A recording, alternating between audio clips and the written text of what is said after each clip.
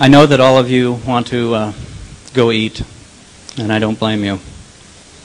But I want to say one thing, and I'm not here to lecture or convince or preach to anyone.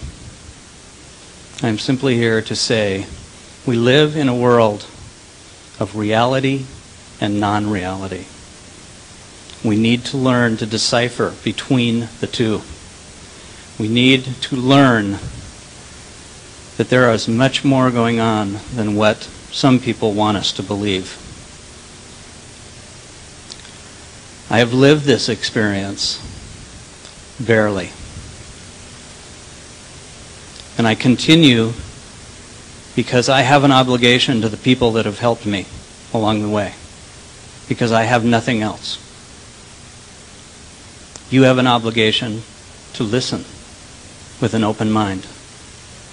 And that's all I've ever asked. There are many more people in the world than me who have had much more exciting experiences than mine. Why don't we hear about them? Because somebody is out to take that option away from all of us.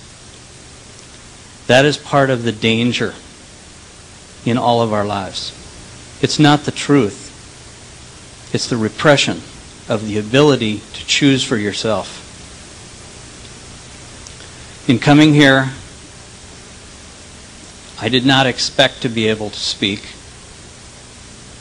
because a lot of people have still continued to deny me that reality. I have learned that not everyone is your friend, even within each system, even within each organization. But slowly, with the help of very supportive friends and people who are honest, if you look hard enough, you will see the truth. But you have to look hard. There is, when I parked an hour ago in your parking lot out here, there are two vans with Uf, U.S. government exempt license plates on them. Are they our friends?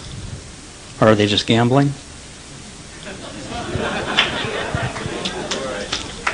But I do know one thing there's uh, headlights broken on both of them, so they need to get that fixed.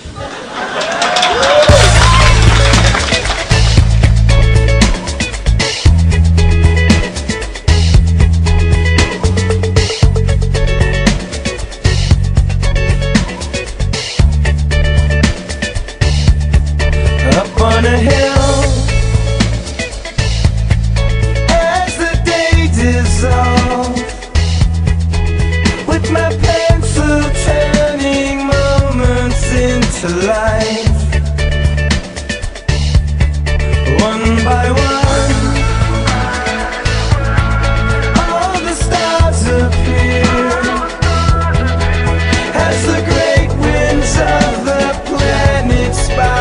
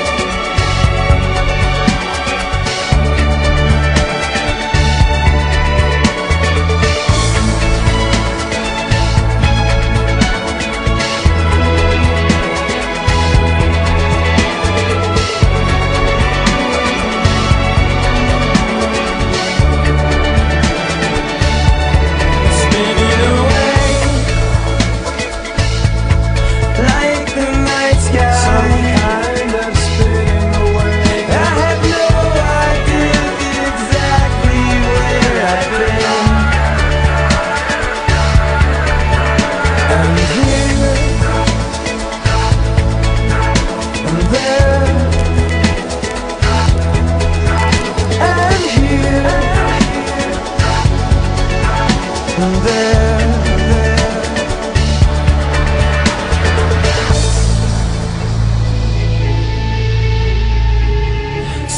kind of spinning away.